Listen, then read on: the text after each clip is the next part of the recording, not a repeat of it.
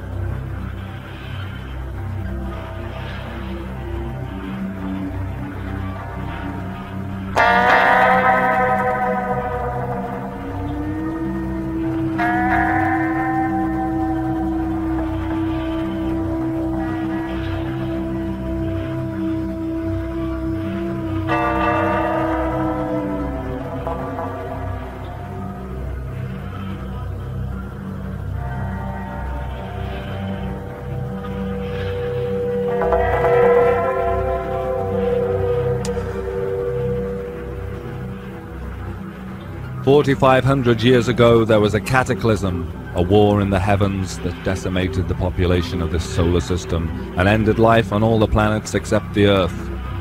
And such was the horror of this war in the heavens that all survivors, the remaining people on Earth, blotted out the memory of that time from every corner of the collective mind of the people called mankind.